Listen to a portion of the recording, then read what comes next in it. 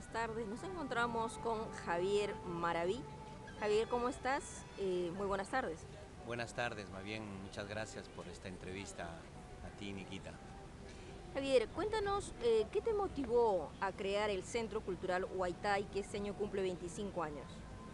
Bueno, ese es un producto de un proceso que venimos ya realizando hace muchos años, eh, una actitud de poder hacer arte desde muy niño ¿no? y, compartir muchas experiencias y eh, ahora ya con el Centro Cultural a volcar las, todas esas experiencias que uno ha bebido desde niño, ¿no? como teatro, música, danza, este, artesanía y muchas cosas más. Eh, y todo eso que uno ha mm, bebido, ahora lo estoy volcando en el Centro Cultural. Eh, y sin pensar, tenemos 25 años ya con, con una organización bastante grande, donde ya hay, hay teatro, hay música, hay títeres, hay batucada, ¿no? hay eh, pasacalles, hay obras de formato grande para espacios abiertos. Entonces todo ese producto eh, lo tenemos ahora como presente y vivimos además nosotros de ese mismo trabajo. ¿no? ¿Cuántas personas conforman el Centro Cultural? En el Centro Cultural eh, básico, básico somos seis personas. Eh, luego alrededor de ellos tenemos chicos que han venido eh, como creciendo, ¿no? Desde muy niños y ellos son alrededor más o menos de 20 personas. Luego de ahí hay todavía otros niños que se van acercando, ¿no? Con todos ellos llegamos más o menos unos 35 personas que estamos en el centro cultural, ¿no? Muy bien. ¿Y estas presentaciones de batucada, de teatro que ustedes realizan, en dónde lo, lo efectúan? en colegios, ¿verdad? Eh, en su gran mayoría nosotros tenemos una difusión en colegios. Eh, sin quitar eh, otros espacios como parques, plazas, teatros que siempre también nos llaman o tenemos algunas temporadas también. Pero en su gran mayoría nosotros vamos a los colegios. Ese es como el, fuerte del centro cultural. Y además es como una actividad que nos ha mantenido durante todos estos años, ¿no? y, es un mercado que además ya nos conocen, hay profesores, hay directores que nos conocen, saben de nuestro trabajo y eh, cada año nos van pidiendo obras, eh, ya sea obras que no han visto y obras que a veces acabamos de estrenar. ¿no? Y toda esa experiencia que tú tienes también en teatro para escolares, lo has volcado en un libro, ¿verdad? Sí, eh, acabo de editar um, otro libro de, obras de teatro escolar.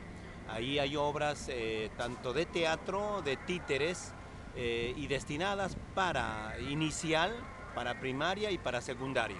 Son obras que podrían los profesores eh, trabajar con sus alumnos, trabajar en sus centros educativos. ¿no? Es una herramienta básica para poder que el profesor, ya sea de arte o literatura, alguien pueda volcar en sus alumnos y así poder este, trabajar eh, el, arte con los chicos, ¿no? en este caso el teatro específicamente. ¿no? Ellos encuentran ahí eh, narraciones, cuentos, guiones. ¿Qué es lo que has expresado en tu obra? Ahí hay eh, siete obras. Hay este, cinco obras de teatro y hay dos monólogos y en su gran mayoría son las primeras obras que he podido estrenar ya. Sí, son obras trabajadas, son obras ya estrenadas como teatro en sí, ¿no? Y esa síntesis de, poder eh, luego este, tener como, como literatura, lo he podido ya este, editar en este libro, ¿no? Y como digo, eh, eh, es una herramienta ya pensada, ya trabajada, ya experimentada para que un profesor pueda tranquilamente trabajar con sus, con sus alumnos o sus niños. ¿no? Eh, esta obra son las primeras eh, experiencias que, tuve yo con el grupo y que lo he llevado a la escritura, porque en realidad en su gran mayoría nosotros trabajamos en creación colectiva, pero en este caso eh, también eh, tengo este papel de autor, entonces hago la posibilidad de poder plasmar en un libro para que pueda quedar así también un material para otros directores, otros profesores, ¿no? que puedan también eh, seguir haciendo teatro tomando como base este libro. ¿no? Interesante, Javier. Y ya que hablamos de teatro, nos gustaría a partir de tu experiencia, tus conocimientos, ¿qué importancia tiene el teatro para la formación de la persona? El, teatro creo que es lo más importante que pueda tener eh, como experiencia cualquier persona. A veces decimos, no, todavía el niño, el niño. No, yo creo que toda persona es importante que tenga esta posibilidad o esta experiencia de teatro. Uno, el teatro está ligado completamente al arte. Y el arte está ligado a la persona.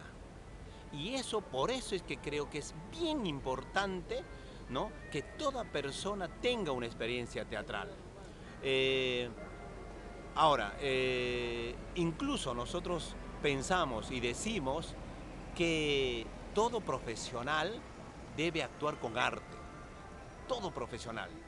Eh, porque el arte está ligado con las cosas básicas que tiene el humano. No sé, por ejemplo, el orden, el ritmo, ¿no? la confianza, la comunicación, el poder explayarse, el poder comunicarse, el poder relacionarse con las otras personas. Son cosas muy básicas que tiene que tener el humano.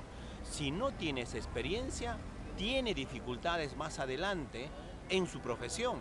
Entonces, uno que no ha tenido experiencias con teatro o arte va a ir pensando tal vez muy fácil la vida, es decir, no va a ser un hombre que piense en su prójimo, que piense en el amigo, que piense en su familia, que piense en su comunidad y que piense además en su país.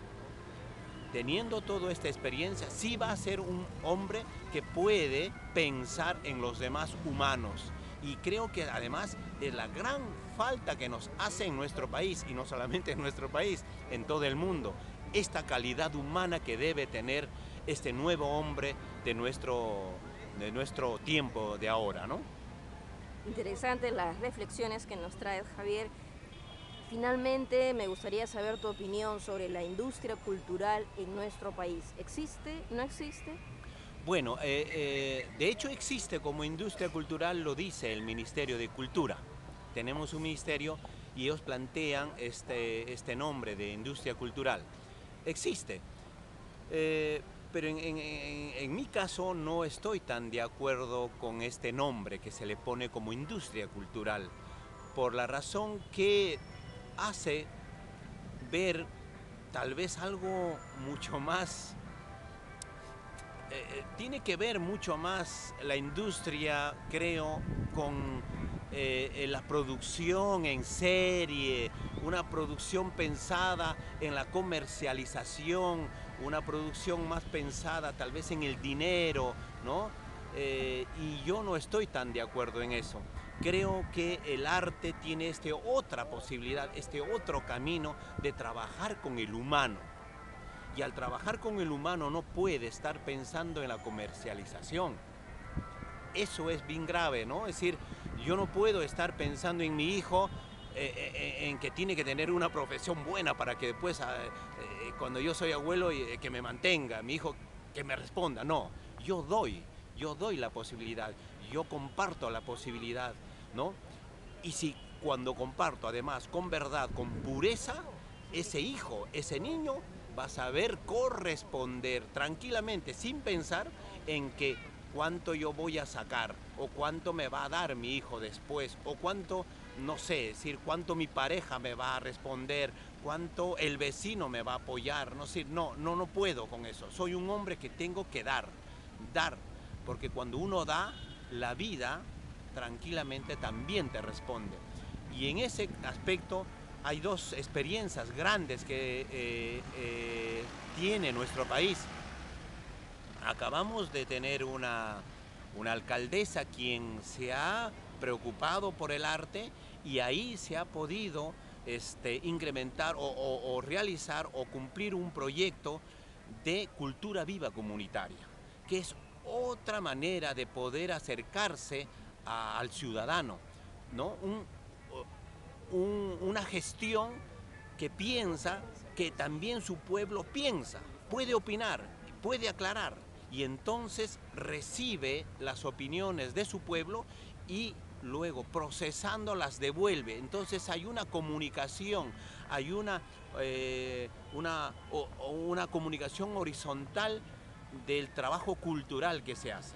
Lo mismo también acaba de aprobarse un proyecto de puntos de cultura del Ministerio de Cultura mismo, eh, que es otra experiencia parecida, es otra experiencia donde están muchas organizaciones eh, de todo el país además, que vienen trabajando un proyecto cultural que está mucho más ligado a sus comunidades, a su sociedad, a sus vecinos, a, eh, su pueblo, a su distrito, ¿no? Entonces, igual pasa ahí una relación mucho más horizontal de la necesidad cultural que tiene que tener nuestro país.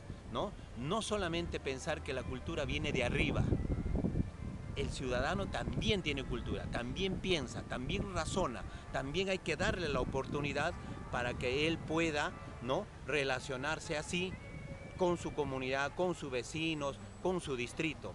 Y creo que es bien importante que se haya aprobado este, esta ley de punto de cultura, eh, que acaba ser casi flamante esta ley, ¿no?